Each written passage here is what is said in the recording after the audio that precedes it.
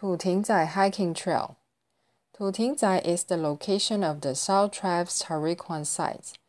This is where the Ikatafatu clans and ancestral spirit ceremonies take place. Thus, images of the Thao's own sacred mascot, the owl, can be seen on the trail. Due to its elevated wooden path, the current topography and vegetation have been preserved. The trail is lined with many signboards that explain the Thao culture. At the end of the trail is a viewing structure, from where one can look south, north, and west to the distant mountains and nearby waters.